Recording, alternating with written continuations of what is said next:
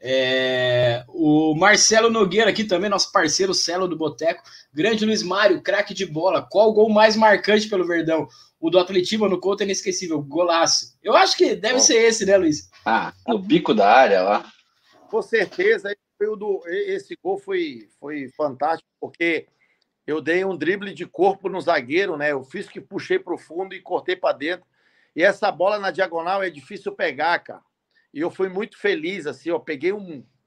Foi um baita chute. Pode ver o goleiro, e fica mais bonito o goleiro tentando buscar a bola, né? E tava chovendo, vocês lembram? Tava chovendo, aí quando deu na rede, a rede molhada, aí deu aquele. aquela. Parece que. Estilingado de água. Ficou bonito o lance. E foi um golaço. E Não. eu até uma, umas mensagens, é, um, uns dois, três anos atrás, que esse gol está entre os dez mais lindos da, do, do, da, da história do, do, do, Curitiba. Eu fiquei muito feliz é, que esse gol foi foi tá entre os dez, né? E isso aí me deixou muito orgulhoso.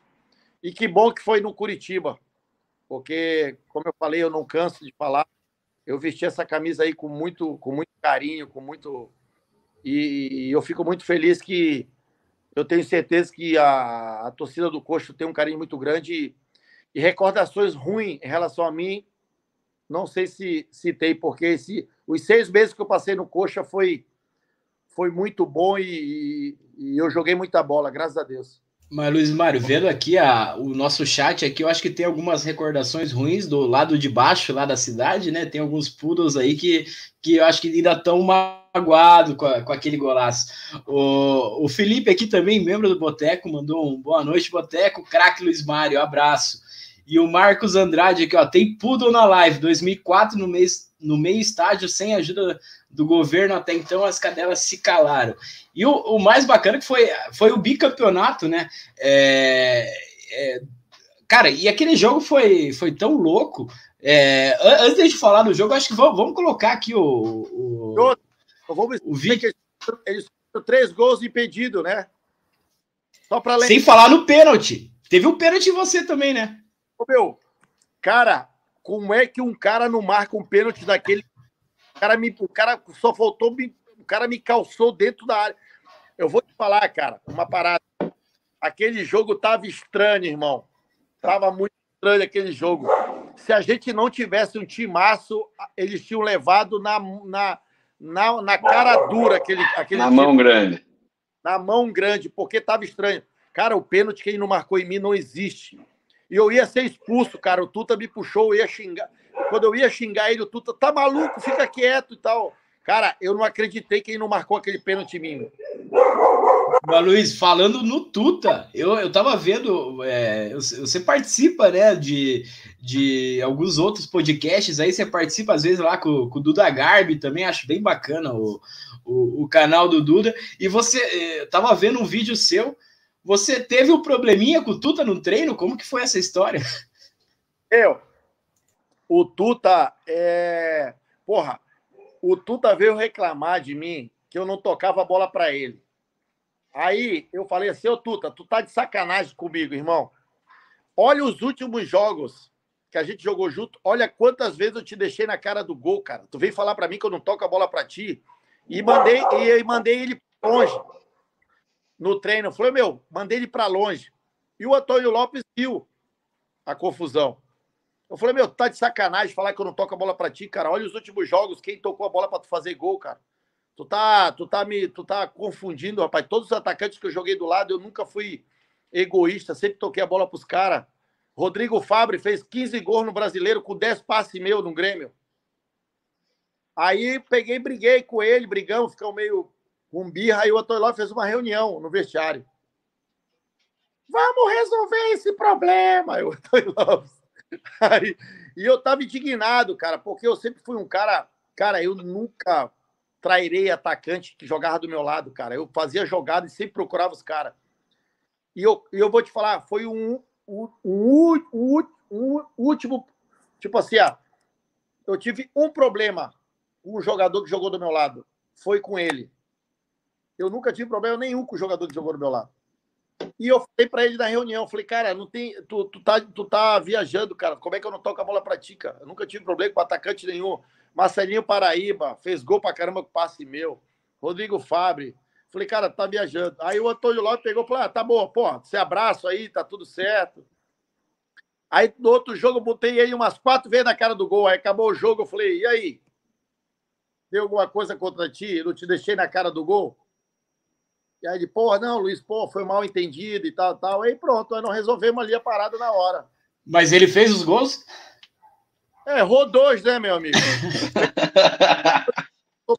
Tô por, por cima do gol. Eu falei, pô, tá aí, ó. E eu sempre tive, eu sempre a, a facilidade de criar jogada para o atacante que jogava do meu lado, porque eu jogava de beirada, né? Depois que eu vim para o Grêmio, eu comecei a jogar de beirada. E, e, graças a Deus tinha esse dom de preparar bem a jogada. Os atacantes jogavam do meu lado. Mostra que um, o, Marcelo, o Marcelinho Paraíba jogou do meu lado, foi vendido para o Hertha Berlim. E o Rodrigo Fabre foi vendido para o Atlético de Madrid. Alguma coisa tinha de errado.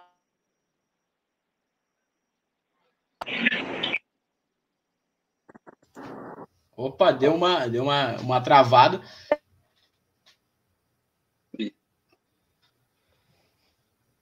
Acho que deu ruim na, na, na internet é. do Luiz ali.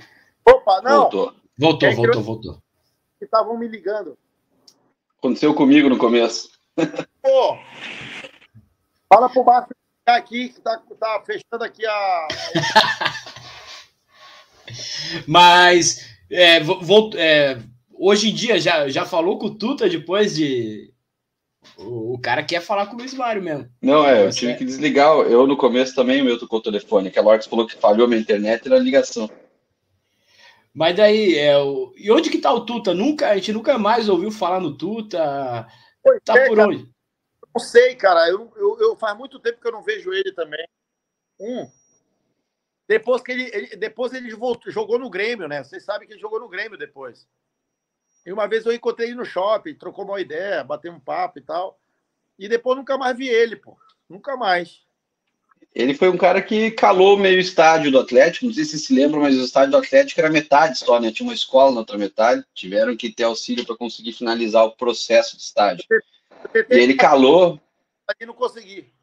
É, ele, tem uma, ele tem uma foto histórica dele fazendo para a torcida ali, que virou até camiseta. Uhum, calou meio estádio. Ele fez o gol é, de cabeça. Deixa eu te fazer uma pergunta, mudando um pouco de assunto. Hoje, Luiz Mário, né, deve ainda ter a sua resenha pelada aí com os amigos, né? O próprio Duda que você participou, eu sei que gosta do futebol, eu morando em Santa Catarina acompanhava ele na época de Pretinho Básico, né? E, e hoje o canal dele lá, o Assado, fez até um, né, um, um, uns episódios como jogador profissional, se eu não me engano, São José, há uns dois, antes da pandemia, né? Não chegou a, a ter muitos jogos como profissional. E você hoje joga pelada com o pessoal e como é que é esse outro lado hoje desde jogador? Hoje você está como dirigente, né, num time da divisão de acesso do Rio Grande do Sul. Como é que é esse outro lado hoje? Não, isso aí faz tempo, cara. Eu fui faz tempo? Faz tempo? Não está mais, não tá mais dentro do, do futebol? Não, eu, eu fui ajudar um amigo meu lá que pegou o Bagé lá e fiquei só três meses lá e depois voltei para Porto Alegre. Não era, não era, não era o que, que, eu, eu queria para minha vida. É, e aí voltei para Porto Alegre e agora eu virei empresário. Sou empresário. Hoje eu sou sócio do Márcio Cruz, que é empresário do Cebolinha, do Wanderson, lateral direito que jogou no Grêmio, que está no Mônaco. Sim. E a gente está fazendo um trabalho bem bacana. Tem vários jogadores a gente tem vários jogadores jovens no Grêmio, os oito, nove jogadores no Grêmio ali que tem tudo para despontar. E agora eu tive uns oito meses atrás uma reunião de diretoria do Curitiba também, tentar levar garotos com potenciais ali para o Curitiba também. Sigam a gente nas redes sociais e não esqueça de dar seu like e se inscrever no canal.